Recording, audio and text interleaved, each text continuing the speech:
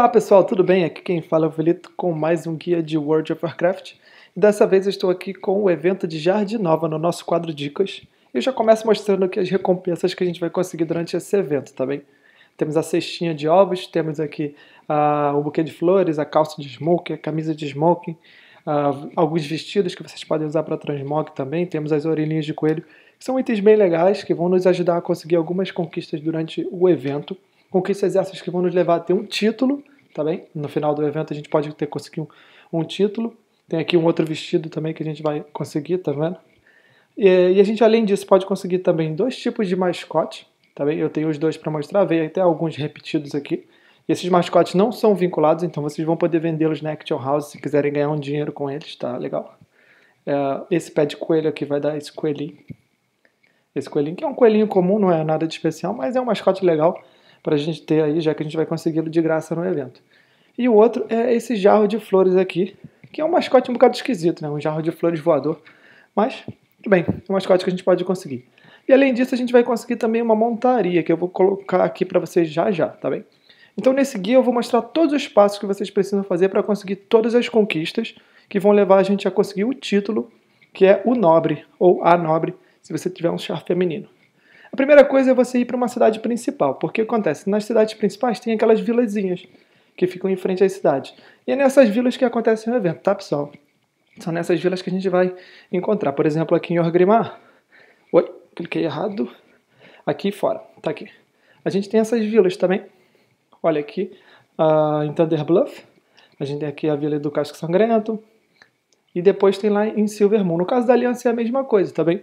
São nas cidades da Aliança que vocês podem estar encontrando naqueles vilarejos pequenininhos. Silvermoon está aqui, tá bem? Nesse cantinho, nas ruínas. E basta a gente se dirigir para lá e falar com os NPCs que vão nos liberar as quests para começar o evento. Uh, aqui está a lista das conquistas que a gente vai obter também. Uh, hoje é o primeiro dia de evento, tá bem, galera? Eu já fiz todas as conquistas praticamente, só falta uma. Então, se eu conseguir tudo isso no primeiro dia, vocês podem conseguir também. Então, vamos lá. Eu vim aqui para Montavo porque já estava em Undercity.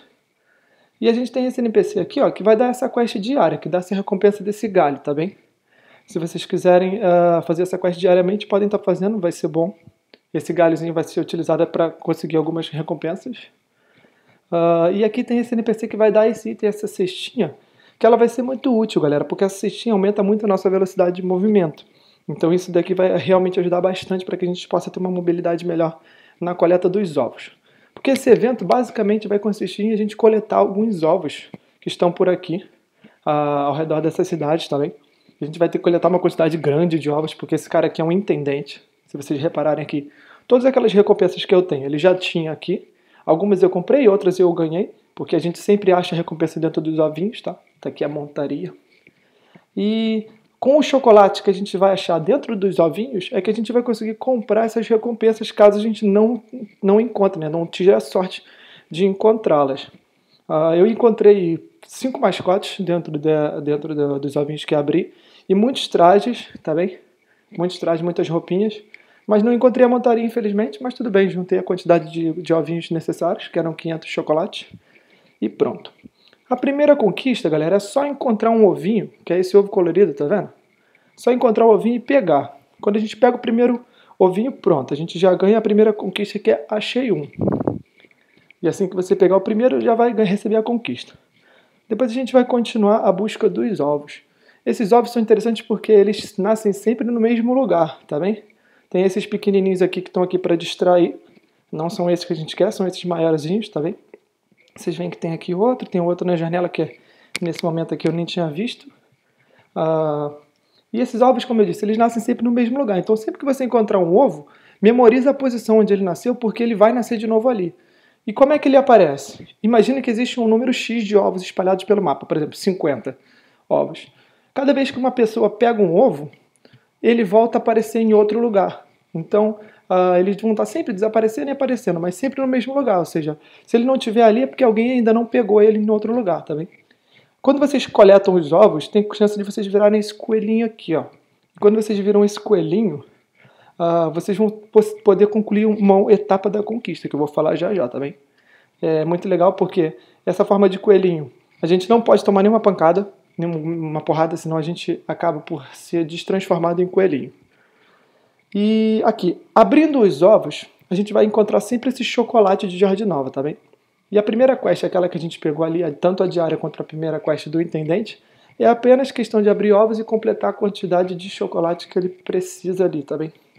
E a gente recebe a primeira recompensa, que é a sacolinha, no caso, a cestinha de chocolate. Depois basta a gente encontrar o, outro ah, NPC, entregar a quest para ele e pronto. Segunda conquista que a gente pode conseguir é encontrando o traje de domingo, que é a camisa e a calça de smoke dentro dos ovinhos. Basta a gente abrir vários ovinhos que a gente vai encontrar, tá bem? Assim como também o vestido elegante. E se a gente vê algum jogador utilizando o vestido elegante, basta a gente vestir o traje de domingo e dar um barra kiss ou barra beijo nele, para a gente conseguir essa conquista aqui, ó, o splish splash. Ou seja, você veste a camisa e a calça, encontra o jogador que esteja com o vestido e manda um beijinho para ele. E pronto.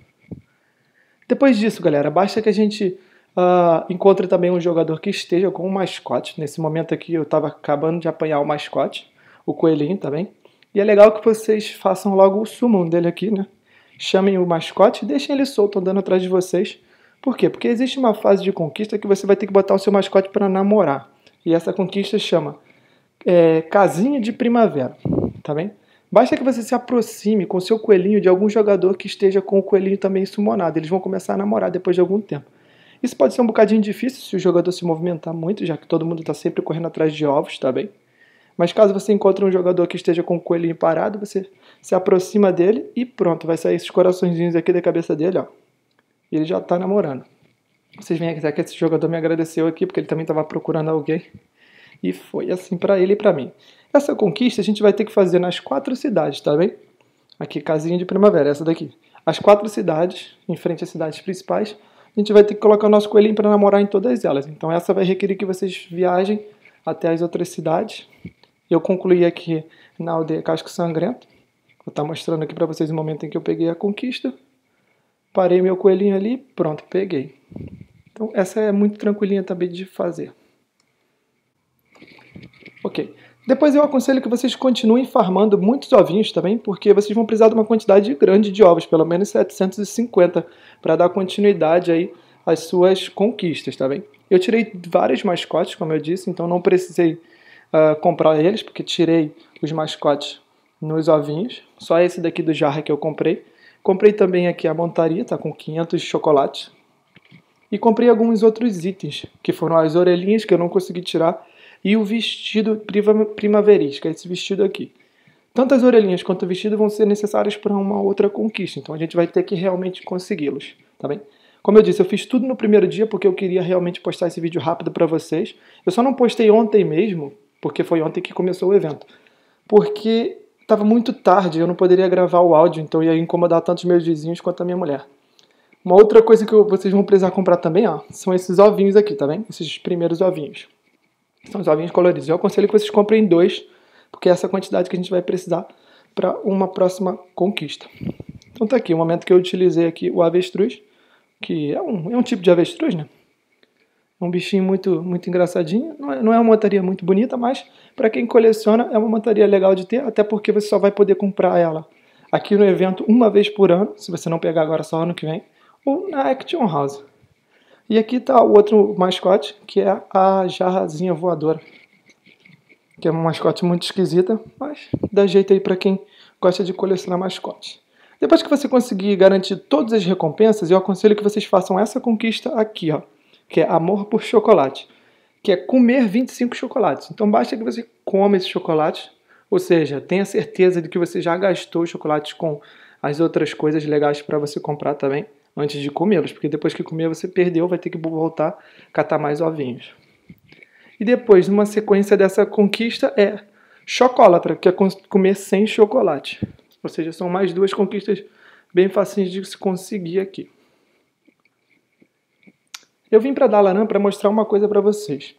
Daqui a gente pode pegar alguns portais para outras cidades, por exemplo, Lua Prata, no caso da Horda, uh, e Vento Bravo, no caso da Aliança que a gente vai ter uma conquista que é Jardim Nobre de Jardim Nova.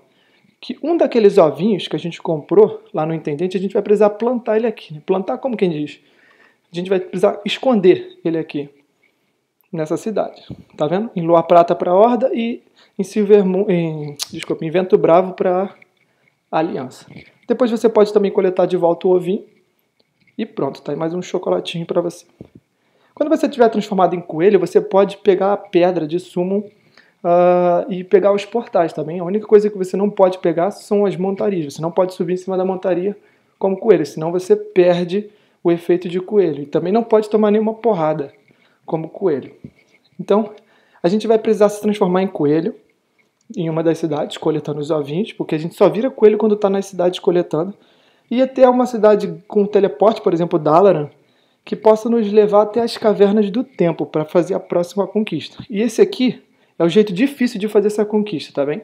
Eu vou mostrar primeiro o jeito difícil e depois explico por quê.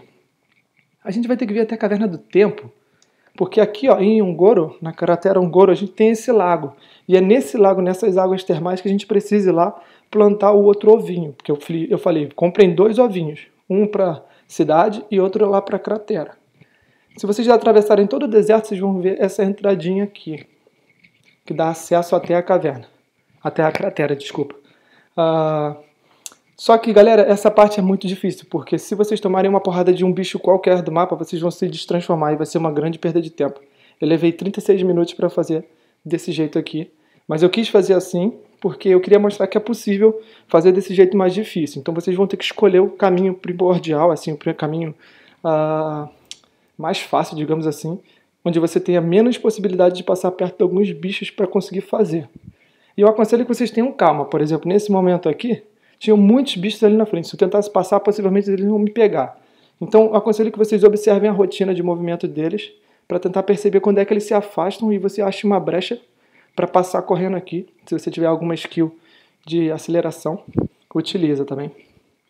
E vai-se embora. E por que eu disse que esse é o jeito difícil? Porque você pode vir até aqui nesse lago com o seu amigo e usar aquele galho que a gente recebeu na primeira quest para transformar ele em coelho ou você em coelho. E depois que vocês virarem coelho, aqui no lago, vocês podem simplesmente plantar o ovinho, aquele segundo ovinho. A maneira difícil é vir andando e a maneira fácil é vir aqui com o seu amigo e usar a skill do galho. Depois você vai ter que esperar mais ou menos uns 30 segundos, que é o tempo que demora aqui parado para concluir a conquista. Você fica perto do ovo, com, transformado em coelhinho, tá bem? E assim que passar esse tempo, pronto, tá aqui a conquista, que é coelhinho se eu fosse como tu. Tá aí. Uma outra conquista que a gente pode conseguir também aqui em Tanares, né? Já que a gente veio até a Caverna do Tempo, é essa conquista aqui, ó, Rosa do Deserto. Essa conquista vai requerer que a gente tenha plantado aqui, tenha, uh, desculpa, tenha equipado aqui o vestido primaverista, tá bem? E esse vestido tem uma skill, a gente traz aqui a skill dele pro cantinho, ó, e utiliza, ele vai fazer crescer uma rosa, tá vendo? Que na verdade não é uma rosa, é um tipo de flor aqui que eu não sei ele faz crescer essa florzinha. E aqui, ó, estão todos os lugares que a gente vai ter que visitar. Aqui mil agulhas, tá bem? A gente vai ter que vir até aqui e utilizar e fazer crescer uma florzinha aqui também, com o vestido primavera equipado.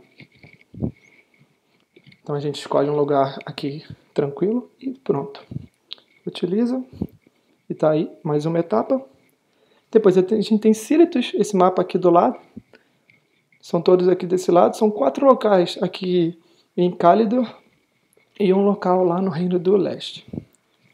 Vem Sílitos, usa também o vestidinho. Pronto, plantou mais uma florzinha. O outro ali à frente é Desolação, tá bem? Eu não filmei até lá porque era longe, ia, ser, ia ficar, fazer o vídeo ficar maior, mas é esse mapa aqui, Desolação. Só basta chegar até lá e utilizar a skill. E nos Reinos do Leste é o Ermos, tá bem? Vocês vêm até Ermos e utiliza aqui em qualquer lugar do mapa e pronto, a gente já vai pegar aí a rosa do deserto. Essa parte. Agora, a última conquista ela é um pouquinho chata, porque vocês vão ter que estar equipados aqui, ó, com esse ramalhete de flores, tá bem? E vão ter que estar equipados também com as orelhinhas de coelho. Se vocês não conseguirem tirar nos ovinhos, vão lá no intendente e comprem. Eles são bem baratinhos, acho que são 50 chocolates cada um. E o que, que vocês vão ter que fazer? Equipado com os dois, vocês vão ter essa habilidade aqui, ó, do ramalhete. E você vai ter que utilizar isso em alguns personagens, em alguns jogadores específicos, de todas as raças, tá vendo? Só que o problema é que tem que ser do sexo feminino. Todas as raças, tanto da Aliança quanto da Horda, exceto os pandas. Então isso aí vocês vão fazendo com calma durante todo o evento. E assim que concluírem essa conquista, vocês vão ter o título de um nobre ou a nobre, dependendo se você tiver um char feminino ou masculino. Então, galera, espero que esse guia tenha ajudado. Aproveitem o evento aí, coletem muitos chocolates, ganhem as suas montarias e os seus mascotes e se divirtam durante a Páscoa do World of Warcraft. Valeu, grande abraço e tchau!